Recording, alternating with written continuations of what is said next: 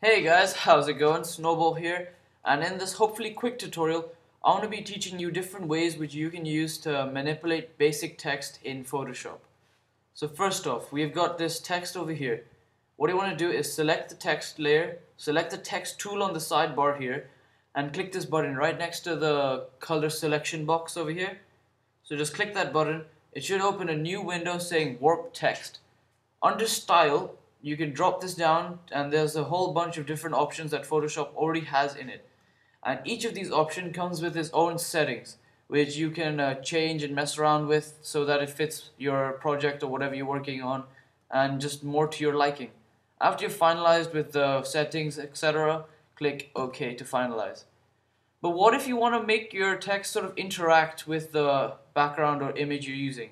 So for example in this situation I would want the text to sort of go with the um, curve of this hill. What you want to do is just go to that, that layer, select the right click and select pixels on the thumbnail there and go to the paths tab. If you don't have the paths tab over here, go to window and select paths from here. When you're on the tab, go down to this button over here uh, which says make path make work path from selection. So just click that go back to the layers.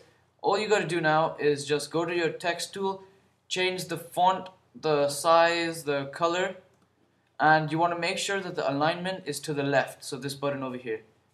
Now all you got to do is just um, using the cursor go to where you want to start your sentence or word or whatever and um, hover over the line that you just made using the paths until your cursor sort of changes that it looks like it has a line going through it just click there and write whatever you want. Like so. So basically the principle behind this is that everything is done using the paths and paths are used are made using the pen tool.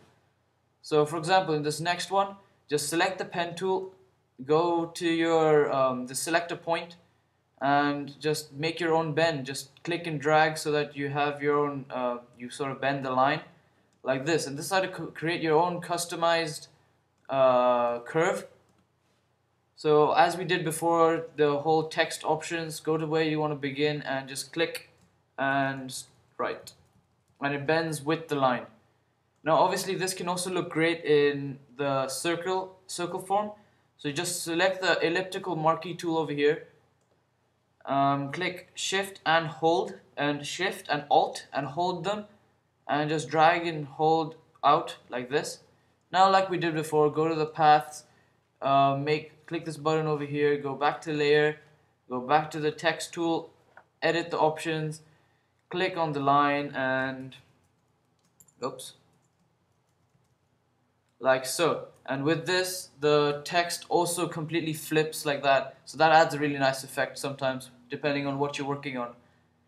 So yeah guys I hope you found this uh, um, this tutorial useful. Um, yeah, that's pretty much it guys. Please give this video a thumbs up. Uh, that really means a lot. This has been Snowball. Thanks for watching. Peace out.